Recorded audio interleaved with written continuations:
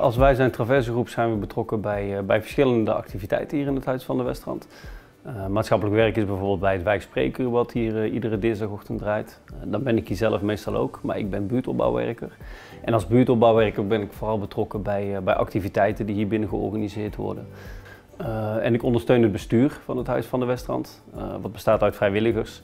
we hebben elkaar eigenlijk gevonden in onze missie om, om bewoners te willen helpen, zo, zo kun je het denk ik wel zeggen. Als, als wij zijn traverse zijn we, zijn we dagelijks verbonden aan het wijkhuis. Um, we gebruiken dit echt als uitvalsbasis om midden in de wijk dicht bij bewoners te zijn. Uh, en de contacten die we met bewoners hebben, die gebruiken we ook heel nadrukkelijk om, uh, om hier in het Huis van de Westrand, uh, nou, om hier naartoe te komen. wat betekent dat we bijvoorbeeld samen met netwerkpartners zorgen dat de juiste bewoner als bezoeker bij activiteiten komt. Ja, en de rol van Rob is natuurlijk heel cruciaal. Hij, hij zit hier al, al langer dan alle bestuursleden volgens mij. en um, hij ondersteunt en adviseert in, uh, met alles, van A tot Z eigenlijk.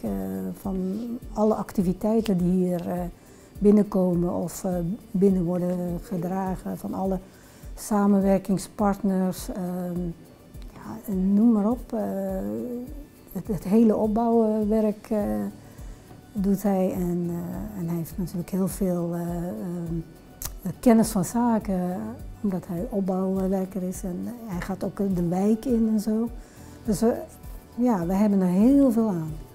Ik werk als woonconsulent bij Alwel, een woningcoöperatie. Ehm, ik ben onderdeel, zeg maar, deelnemer van het spreekuur. Uh, dat betekent dat ik in samenwerking met uh, de partners dus, uh, in de wijken, vanuit Wegwijs, Wij Zijn, um, ja, eigenlijk de klanten bedien. Dus dat maakt, ja, ik heb geen specifieke rol. We zorgen eigenlijk dat de klant in ieder geval antwoord krijgt voor zijn vragen die hij stelt. Of in ieder geval met een concrete afspraak hier de deur uitgaat. Ik ben niet terechtgekomen via de sociale dienst, omdat ik gedeeltelijk afgekeurd ben ik had geen werk en ik uh, vond het niet fijn meer om thuis te zitten. Zo ben ik hier, uh, hier terechtgekomen, heb ik hier een interview gehad. En uh, ben eerst als tuinmedewerker hier gekomen en al langzamerhand ben ik hier assistent beheerder geworden.